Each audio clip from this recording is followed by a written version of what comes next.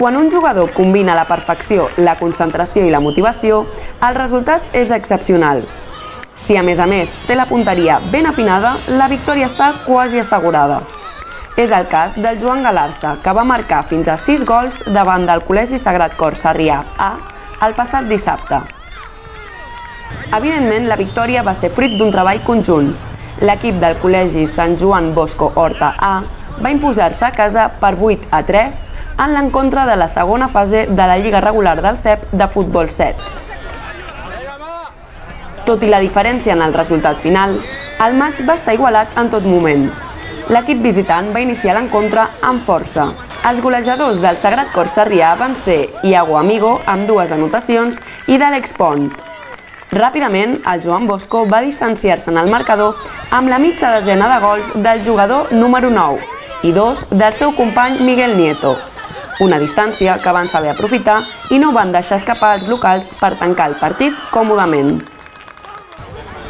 Sota les directives dels tècnics dels conjunts Víctor Torres per part del Sant Joan Bosco i Sergi Ferrari del Sagrat Cor Sarrià, amb l'arbitratge del tutor de joc David Cuenca i els ànims dels familiars a peu de camp, el partit va ser tot un èxit amb referència als valors dels jugadors dins del terreny de joc.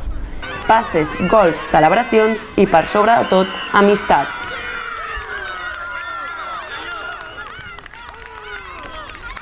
Pues lo he visto muy entretenido, ha sido un partido muy disputado entre los dos equipos.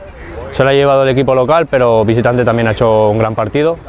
Eh, me lo he pasado genial, como en todos los partidos de tutor de juego, de todas las categorías y es un placer pitar a, a todos los niños pequeños, pues se lo pasan muy muy bien, disfrutan, aprenden mucho, son muy educados y un grandísimo partido.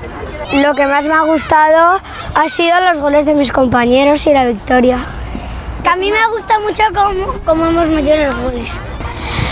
Porque nunca he visto al, al Joan meter seis goles. Siete.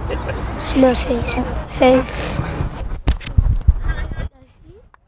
Lo que más me ha gustado del partido ha sido cuando hemos celebrado todos los goles.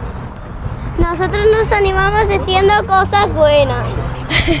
En el cielo manda Dios y en el mar los marineros y en el campo de fútbol el sagrado corazón. Tot i la victòria del Sant Joan Bosco, continuen en la part baixa de la taula de la classificació, més concretament en la cinquena posició. El seu rival continua co-líder del grup amb 14 punts juntament amb el club esportiu La Salle Bonanova A.